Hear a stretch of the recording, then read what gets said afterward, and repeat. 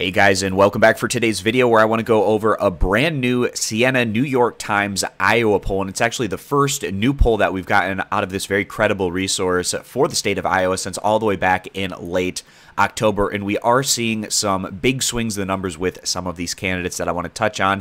If you're interested in looking at this article for yourself, I'll have a link posted down in the video description. And it continues to be this trend that we've been seeing specifically in recent weeks where Sanders has been showing a lot more strength. He takes a big step forward into first place in this poll at 25%. And the sample size that we're getting for this Siena New York Times poll is at 584 likely voters. So the change here we're getting from this poll compared to the prior result from this state from this resource is Sanders is up 6 percentage points. He was at 19 points in the prior poll. In this one, he's at 25% in first place by himself, followed by Pete Buttigieg, who stays even at 18%, and Biden also stays even at 17 percentage points in second and third place. And then in fourth place, we have Elizabeth Warren, who's taking a seven percentage point step back. She was actually in first place in the prior result at 22%. In this one, she's all the way down to 15.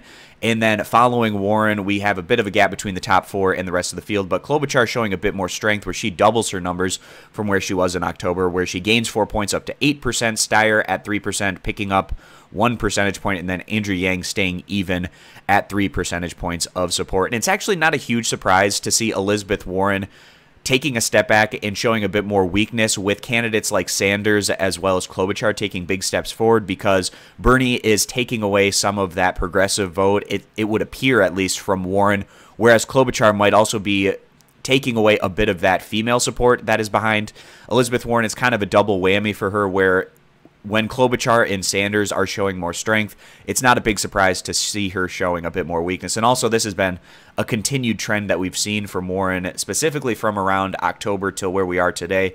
And with the prior poll result coming out in the month of October, Warren was actually in first place in that instance, but this one she's all the way back in fourth. And it's becoming tougher and tougher for Warren in terms of the polling numbers, at least what we've been seeing in these early states where she had been actually showing a bit of strength not all that long ago, but now she has been fading back. And if Warren isn't showing well, right out of the gate in those early states of Iowa and New Hampshire, I would start to become very skeptical as to her legitimate chances to have a strong possibility to go on and seriously contend throughout this nominating process. So, another great sign for the Sanders campaign. They're continuing to show this very positive trend, and not just in the national polls, but also in these key early state results. And then we have kind of the Buttigieg Biden have more so been hovering around a steady point in a lot of these early areas, whereas Warren has been taking a step back. And also, Klobuchar is someone to at least keep an eye on in Iowa because it is the neighboring state to Minnesota where she is the senator from.